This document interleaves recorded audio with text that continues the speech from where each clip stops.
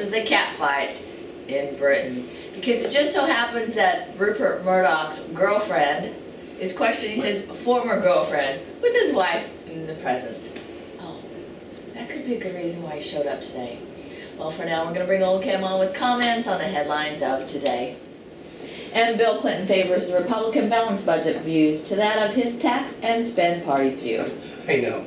That basically, the party is not happy with Bill Clinton saying that. But he did say that neither the Republicans or the Democrats will ever stay within their means unless they're forced to. And the Democrats really hate that because that's the truth. And Parliament Committee questions Rebekah Brooks on the phone hacking. Well, but like she said, that uh, the problem comes, it doesn't make any difference that the orders were not given. The publication was collapsing and people's jobs were dependent upon getting the circulation up. And he said the bad thing about it was the circulation went backwards. It just got worse because newspapers are out.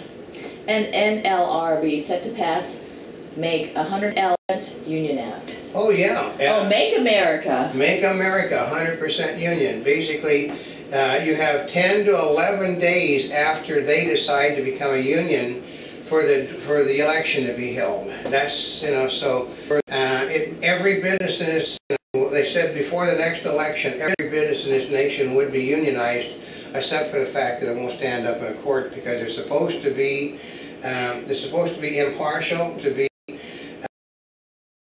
uh, well happened to be labor relation union lawyers so it makes it totally partial.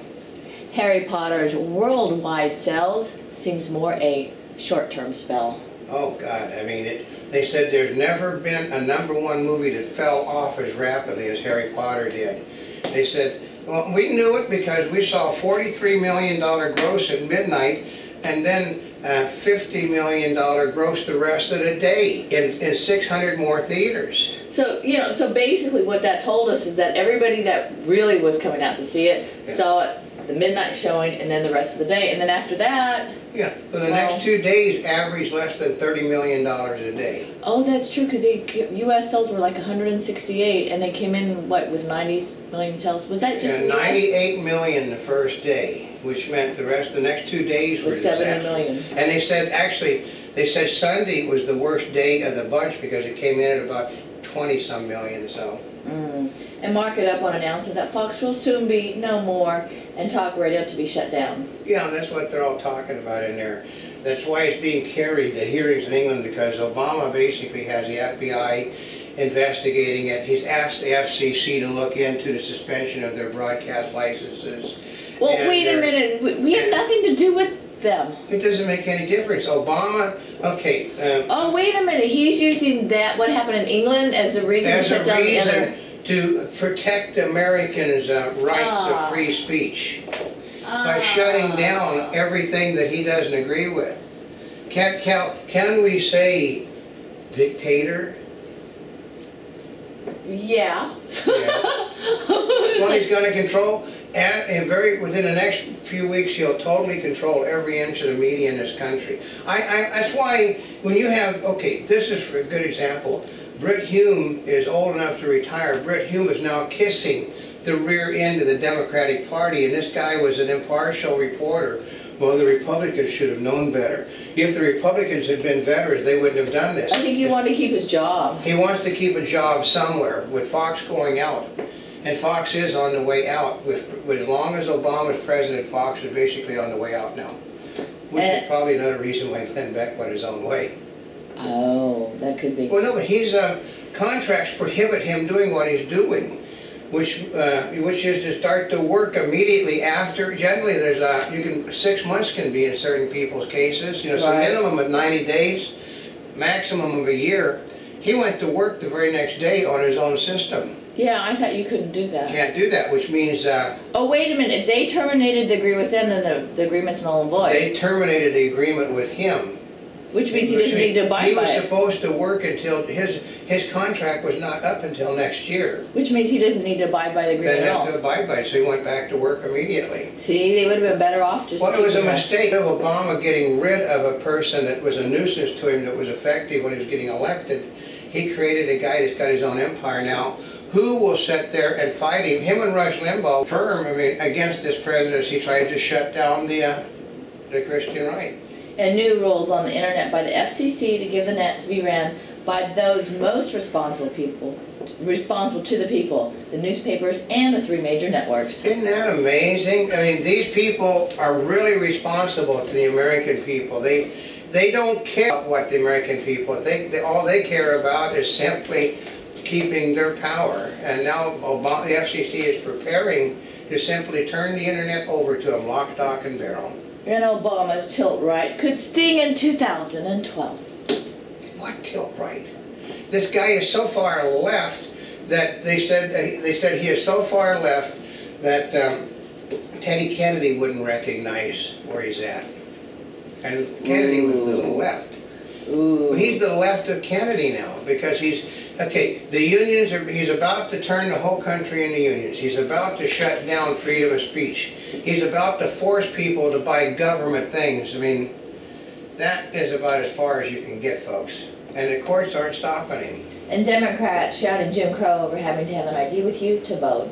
Okay, okay. I mean, I heard him. Okay, the other day Bill Clinton walked into this bit. They simply asked Bill Clinton, uh, "Can you prove you're you're President Clinton?" He said, "Well, yes." He said, "Do you have a driver's license?" He said, "Yes." Uh, do you have um, do you have any other sort of ID besides a driver's? Well, yeah, I have a voter registration card. He said, "How did you get?" Well, I presented my ID. And he said, in other words, it's all right if a white guy has to present, present an ID to get a voter registration card, but if you're black, you don't have to. He said, no, it's just Jim Crow laws. Just what? It's Jim Crow, which means it's laws put in by Jim Crow in order to keep black people from voting. But he himself said he had to present his ID to get his voter registration card, but he doesn't think that black voters should have to have an ID because, well, as we all know in the last election, they voted for six months. I don't think they ever gave me a card. Yeah, well, they do have voter registration cards that you can get in some states. Well, I just vote. I know. But you still have to have identification with you, don't you? Well, you're supposed to, but part of it is they all know me. I know. Well, you, you can go with the glasses. But, no. but they said until Obama started running for president, it was a requirement in the nation you had to have identification to vote. Now Obama, okay, they put it this way, since you can register the day of the election now in many states controlled by the Democrats, you could come in from, you basically you could have people walking in going, and they would be allowed to vote. You, can you, you know, sprechen Sie English? Mm. Nein. Uh, ¿Cómo allez-vous? No. Uh, uh, you know, ¿Se habla español? Yeah. You know, well, you know, when you go to vote, I think they have it in 21 different languages. Uh, 100, basically in the country, I think there's 129 different languages. Oh, is it? I mean, it was Across just, the nation. All I know is it was so ridiculous when they said, okay. uh, Every they know, they said, do you want an English ballot? I said, yes. And they say, well, and I said, how many ballots do you have? And they said, well, we've got all these languages here. Yeah, but they said uh, only in states controlled by Democrats are there multilingual ballots. Everywhere else they make you vote in English because they do not let you vote in, in English in France. They don't let you vote in English in oh, Germany. They don't let you vote in, in, in Yugoslavia in, in England. Well, I always figured if you can't read it in English, you haven't read all the issues anyway, and you don't understand what you're doing. I know, but a lot of people, they don't care. I mean, uh, we went to a, thing the other day. Actually, we went to a, uh, we won't tell you where, we went to get a brand new computer. And you've got a bus driver talking in Spanish to the help there. She's basically, uh, as far as I can understand, figure she couldn't speak English. Well, we've, we've find, seen that in a lot of different she could places. Not, she had to find someone in the place that spoke Spanish. This is a bus driver, folks. Oh, really? Had to find someone that spoke Spanish so she could buy a computer. Ooh. Yeah, that's what you want driving our buses. And people, you know, like, uh, look at the sign. Uh, a número, uh, a uh, okay. Uno, dos, tres, cuatro, cinco, seis, siete, yeah, yeah. It's visual. They don't have to read it. That's right. And Obama saved the stock market today with his condemnation of the Republicans, Bush, and the anti-American Tea Party. Oh, ain't that something? They said that he is going to hang. He's going to. He's going to use this thing no matter what. Millionaires and billionaires. Of course, millionaires start at two hundred fifty thousand dollars, and oh, they're going to take away the exemption on all homes owned by millionaires and billionaires Guess what price the home starts at for a millionaire? How much? Two hundred and fifty thousand dollars is what they classify a home that a millionaire lives in now. What's average price of a home? In California, it's about seven hundred and fifty thousand dollars. Mm. And a Monte Bubbleism from the Mark Twain of the Animal Kingdom. Uh, Dictators can be called by many names, but they're still dictators.